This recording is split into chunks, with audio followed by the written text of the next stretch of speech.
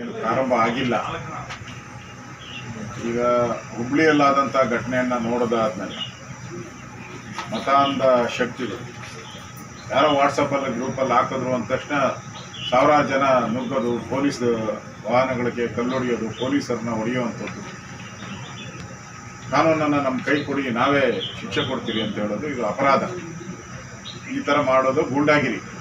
ಇವರಿಗೆಲ್ಲ ಉತ್ತರ ಪ್ರದೇಶದ ಗುಡ್ಡೋಜರ್ ಮಾದರಿ ವ್ಯವಸ್ಥೆಗಳನ್ನು ಮಾಡಿದ್ರೆ ಸರಿ ಹೋಗ್ತೈತೆ ಅಂತ ಹಲವಾರು ಜನ ಅಭಿಪ್ರಾಯ ಮಾಡಿದ್ದಾರೆ. ಸರ್ಕಾರ ಯಾವುದು ತೀರ್ಮಾನವನ್ನು ತೆಗೆದುಕೊಂಡಿಲ್ಲ ಯಾರೇ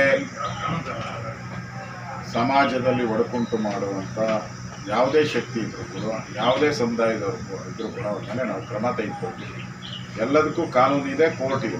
ಕೋರ್ಟ್ ಆದೇಶಗಳೇನು ಗೊತ್ತೋ ಅದನ್ನು ಪಾಲನೆ ಮಾಡ್ತಿಲ್ಲ ಈಗಾಗಲೇ ಎಲ್ಲರಿಗೂ ನೋಟಿಸ್ ಸರ್ವ್ ಮಾಡಿದಿರಿ ವಾಲ್ಯೂಮನ್ನು ಕಡಿಮೆ ಮಾಡಬೇಕು ಅಂತ ಹೇಳಿದ್ರಿ. ಎಲ್ಲೆಲ್ಲಿ ಕಂಪ್ಲೇಂಟ್ ಬರುತ್ತೋ ಅದೆಲ್ಲವನ್ನ ಇಮಿಡಿಯೇಟ್ ಆಗಿ ಅಲ್ಲಿನ ಮಸೀದಿ ಮುಖಂಡರನ್ನ ಕರೆದು ಅವ್ರಿಗೆ ನೋಟಿಸನ್ನು ಕೊಟ್ಟು ಕಡಿಮೆ ಮಾಡಿ ವ್ಯವಸ್ಥೆಯನ್ನ ಮಾಡ್ತೀವಿ.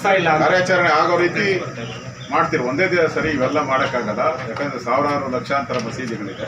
ಅದಕ್ಕೆ ಎಲ್ಲೆಲ್ಲಿ ಕಂಪ್ಲೇಂಟ್ ಜಾಸ್ತಿ ಈ ತರ ಧ್ವನಿವರ್ಧಕವನ್ನು ಉಪಯೋಗ ಮಾಡ್ತಾ ಇದ್ರು ಅವ್ರ ಮೇಲೆಲ್ಲ ಕ್ರಮ ತೆಗೆದುಕೊಳ್ಳಿ. ಕ್ಷಣ ಕ್ಷಣದ ಸುದ್ದಿಗಾಗಿ ಅಮೋಕ್ ಟಿವಿ ಯೂಟ್ಯೂಬ್ ಚಾನೆಲ್ಗೆ ಸಬ್ಸ್ಕ್ರೈಬ್ ಮಾಡಿ ಹಾಗೂ ಬೆಲ್ ಐಕಾನ್ ಮೇಲೆ ಕ್ಲಿಕ್ ಮಾಡಿ. ಅಮೋಕ್ ಟಿವಿ ಎಂದೆಂದಿಗೂ ನಿಮ್ಮೊಂದಿಗೆ.